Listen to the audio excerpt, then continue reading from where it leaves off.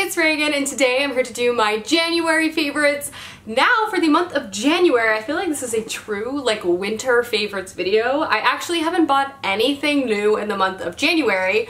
No Shop January is something I partaked in. I'm really to be focusing and highlighting on basically all of my favorite things that I have been loving throughout the season of winter. So without further ado, let's go ahead and dive right in. So the first thing I'm going to talk about is actually a brand highlight. Um, starting in about the fall, uh, late October, November, I bought my first thing off of a store called Sézane, which is a French clothing store that I have been pretty much in love with for years. I've always followed them on Instagram, but I just never bit the bullet of buying anything, but I finally did this winter and I have three things that I've picked up from them over the course of like three months. So the first thing is actually something I'm already wearing. It is this beautiful sweater that can actually be worn in three different ways. So it's a cardigan. There's buttons down the front so it can be worn as a cardigan. It's reversible as well. So I'm wearing it with the v-neck in the front with the buttons, but you can also wear it with the v-neck in the back with the buttons down the back, which it's just, it just makes it one of the most versatile classic sweaters I honestly own. It's really lightweight, so it's great for transitional weather as well. The thing I also love about Sézane is, is that they bring back style season after season. So they update it maybe with a color or a pattern, but for the most part, like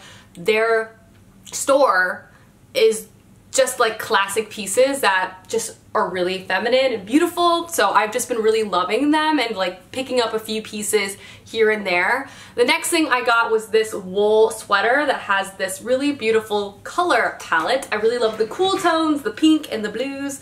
It's another kind of more light, lighter knit uh, wool sweater. So it's still very warm. I do have to wear like a t-shirt underneath this because it is 100% wool, but I really loved the pattern. And then the last thing I have from Sézane is this awesome chevron, much thicker knit wool sweater. I love this. I think this is so cool and retro. I love the varsity stripes. The color palette is so me, very, very neutral. And it's just like one of my favorite sweaters ever. Like I feel like a rock star when I wear it. Those are the things I have picked up from Sézane throughout this winter season. And I'm sure I'll be picking up a few spring things as they've released and they're really beautiful. But it's way too cold to buy anything for spring right now. So I'm holding off. The next few things I'm going to talk through are accessories. And the first thing is earrings. Ah, I threw one. So I bought a pair of glitter plastic earrings for New Year's um, and I haven't been able to stop wearing them. I think they're so fun. So I have this pair of like glitter star earrings that I got from Madewell for like $10. I don't know, they just like, I stare at them and they make me smile. I just think they're so great. So I've been wearing these nonstop and I also picked up in December these gold glittery ones. And again, they're just so, like they're literally plastic glitter earrings. They look like they're made for children, but I just think they're great. Like I love to wear them with sweaters, with t-shirts. I don't know, they're just hilarious to me and like every time I stare at them the glitter makes me smile so I have been loving plastic glitter earrings a lot over the past month. Next up is a pair of sneakers. I picked these up in November and they are my Veja sneakers that have color blocking and I love these. They're so comfortable. I love that they have like a thicker sole platform. Um, they're just great and they're really durable because they're all leather so it's very easy to like wash and keep clean. But yeah, I've been loving these shoes so much. They have been a great sneaker honestly they're like my go-to sneaker. Veja I think is now my official favorite sneaker maker. Basically between my two pairs of these shoes, they're the only shoes I wear. And I think in the summertime I'm gonna pick up their like flat all white to wear with summer dresses because they're just the best. I love them. My favorite shoe company, I have my Nisolo Chelsea boots which I got in November as well, I want to say, around Black Friday, maybe October. This is their new stack-heeled Chelsea boot that came out in the fall of last year, and I have been wearing these to death. These are basically like my go-to boot. They're super comfortable, ha they have great height, great color, and I don't know, everything about them I love. They have a black pair as well that are weatherproof, so this has like a, a wood stack heel, but they do make boots that have rubber that make them kind of have more traction and also are more waterproof. So for me, someone who lives in a city, that is a really great thing to have and I have been kind of eyeing those maybe for next year. But for now, I have been wearing these shoes so much and they're gonna look great in the spring and summer with dresses. Like, ugh.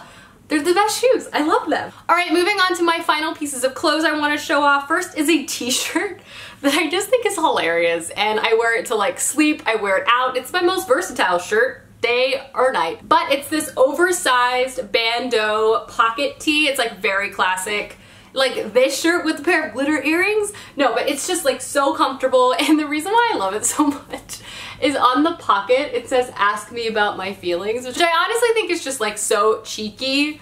I don't know. I just really really like it.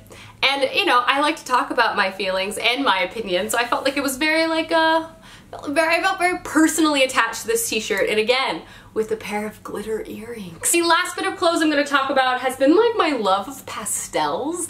Uh, I feel like this winter and specifically in January I have just been loving like a pastel sweater color palette. I think it's because it's just, it's cold and it's dreary and I'm kind of dressing for the sunshine and the warmth that I wish I had in my life. So I've just have been loving these pastel sweaters I, I picked up over this winter in my wardrobe and they're great. And I think they're all on sale now with like a really good deal. So I'll have them all linked below.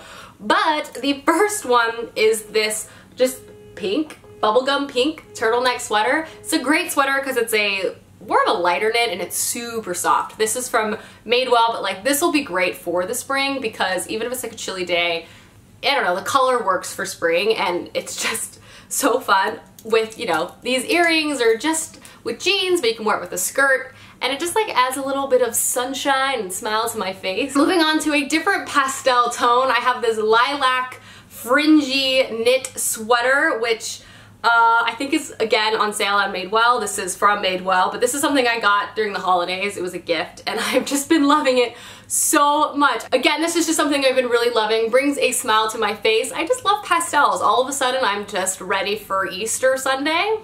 I don't know, but like the Easter bunnies coming to town and I have the sweater collection to cover it. But yeah, I just love it with, again, light blue denim. It's just been perfect and like these boots, hello. And lastly, probably my most worn pastel sweater is this blue sweater with this kind of knit down the front. Again, I just think this is such a lovely shade. Also because I have blonde hair, I think this blue just looks really nice with my hair. But I have been wearing this non-stop. I honestly like want to wear it every day, but with reading vlogs and everything, I don't want you guys to just think I wear the same sweater. So I always have to be like, nope, don't wear it, you're vlogging, you've already featured it in like two vlogs, but it's just um, an amazing sweater. It also comes in this really great red color, but I picked up the blue. But yeah, it just is just such a fun shade. Like, look at all this pastel, guys. You know, you gotta bring your own sunshine when it's cold af outside. Alrighty, so those are all of my favorite clothes for the month of January. As I said, I didn't buy anything the month of January, which is great because it really let me just like wear all my favorite things. No need to buy anything when you've already got a wardrobe full of your favorite things. Anyway, let's now move into the music, movies, and TV show portion of this. So starting first with music, I finally have begun to branch out from the 1975 album. No, do not worry, I am still really listening to that album a lot. Uh, I recently also switched over to Spotify from Apple Music. It's a big move for me. It was a big move. Mostly because all of my friends and Clay use Spotify and I wanted to do collaborative playlists with them, which has been a real game changer because I, specifically with my best friend, we have very similar tastes in music, but we live in different cities. So via the collaborative playlist, I feel like I found some really great new artists that I've been listening to a lot. Plus we just have like a great playlist. So aside from the 1975, Maggie Rogers' new album came out this month, which has just been incredible. I love it. I jam to it all the time. It is so good. Also, via my friend Emily, I learned about this new artist called Pale Waves another great like girl bop album.